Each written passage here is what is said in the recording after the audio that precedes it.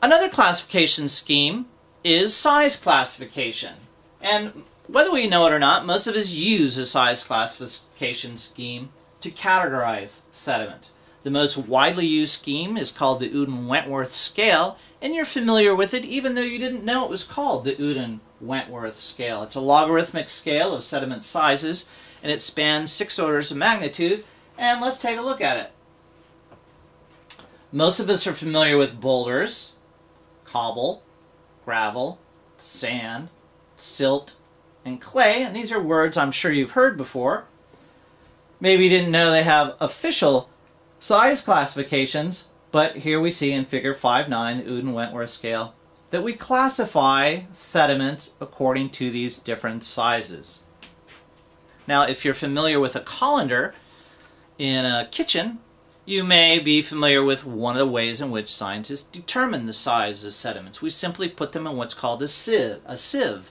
and it, by shaking that sieve or running water through it, we can determine the proportions of different kinds of sediments, different sizes of sediments in a particular sample. The Udden-Wentworth scale.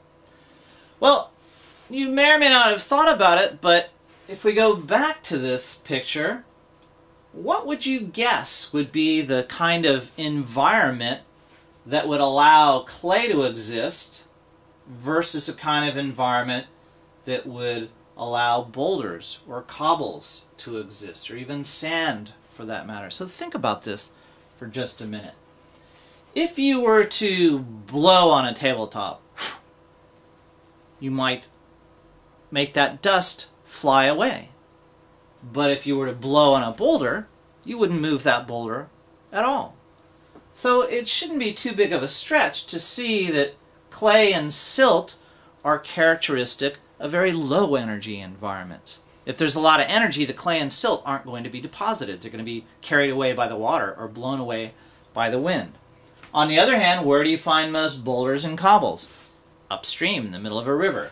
So it's that action, it's that amount of energy that determines what kinds of sediments we'll have in a particular location and turning that around, if we find silt and clay in a particular set of deposits, we know that that was a very relatively low energy environment. If we find mostly gravel and cobble in a particular sediment sample, then we know that it was a higher energy environment. So you should be able to start putting two and two together to see how size sediments or size classification of sediments can tell us something about the environment in which these sediments were produced. Collectively, those processes that create, transport, or, or allow sediments to be deposited on the seafloor are called sedimentary processes. So we want, want to take a little bit of a look at that because the types of sediments produced, so not only the sizes but the types, their movements away from where they originated and where they end up really depend on so many different things, the meteorological and oceanographic conditions. And so by the time sediments get to a particular location in the world ocean, they've undergone all kinds of little uh, movements and they've been carried into different places. So kind of like the story of how you ended up in a particular place, unless you've lived here all your life, sediments have that same kind of story. So when we find sediments at the bottom of the ocean, what we want to do is look at them and say, where did you come from? How did you get here? And who are your parents? And that's really the goal of paleoceanographers. So if we look at the life history of a sediment, from their origin to where they were deposited, we call that the sediment cycle. And I don't want to belabor this, but of course plate tectonics and climate change and all these things influence the sediment cycle at every step. Let's compare the sediment cycle for lithogenous particles, or particles that originate from rock. This is figure 510 in your book. So weathering of parent rock, what that means is anything that breaks down mountains, essentially, and that might be rainfall, it could be acid rain, it could be winds, it could be earthquakes, it could be you going out with a hammer and beating on the rocks. That's called weathering. That creates the sediments. Wind or water transports those sediments and eventually it brings them and carries them into the ocean. When they get into the ocean, they may sink. if they are carried by wind, we call those aeolian particles. So one's sediments that travel by river are called riverine particles or riverine sediments. Wind is called aeolian particles. And of course, it should make some sense to you that wind is not going to carry boulders and cobbles unless it's really a screaming wind like 500 miles an hour. And we don't get those kinds of winds on our planet. So wind is going to deliver smaller sediment sizes than rivers. Okay, so kind of think about that. Those particles, as they sink, they may actually stick together, a process called aggregation. If they stick together, that may make them sink faster, and they may stick together because an animal says, I like that particle, I want it, and it starts collecting particles for its house.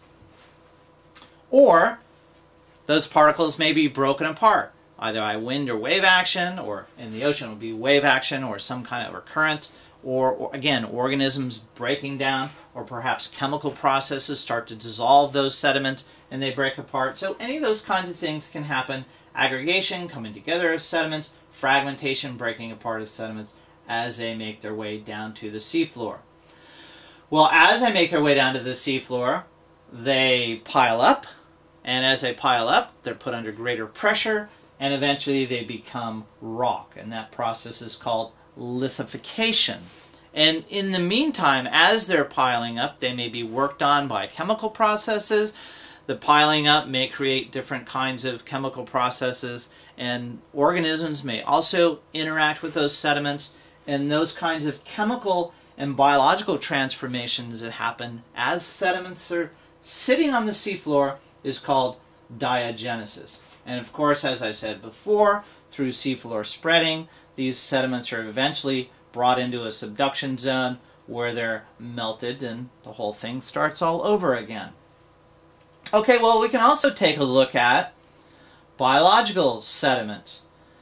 Organisms remove elements that are brought to the ocean by rivers, so dissolved elements find their way into the ocean organisms take the substances, take the elements that they need to build their shells and their homes, and create a sediment. Those organisms may be eaten, uh, they may be broken apart by natural processes, or they may just die, and they may sink, and they may aggregate, and they may fragment. The, through the process of organisms eating the waste products of other organisms, or to put it in blunt terms, eating poop or coprophagy, those sediments, those biological sediments, may be even further reworked. So a number of things can happen to biological particles as they sink into the water column. Of course, they then may decompose. Those, that organic material, just like leaf litter, may decompose on the seafloor. It may undergo diagenesis, so it may undergo some kind of chemical transformation or biological transformation as it's in that pile of sediment on the seafloor. And eventually, when the sediments pile up and create enough pressure, they become lithified and turn into sedimentary rock, which is why we have to drill for them. And that sedimentary rock can then, again, be subducted and eventually melted, and the whole thing starts all over again. And finally, the other important part of this figure 510 is just to take note of hydrothermal vents. As that hot seawater circulates through cracks in the seafloor near oceanic ridges, it accumulates different kinds of metals and other types of elements, and that hot, superheated, mineral laden water is then pumped out in a hydrothermal vent, and those minerals, upon encountering the cold seawater, precipitate. Okay, and so here we have a source of chemical sediments. So we have the lithogenous sediments, biogenous sediments, and chemical sediments all produced in the ocean and all deposited in the world ocean. So this should give you some idea of by looking at sediments, we can start to piece together all these different sedimentary processes that went into the creation and deposition of that sediment on the seafloor.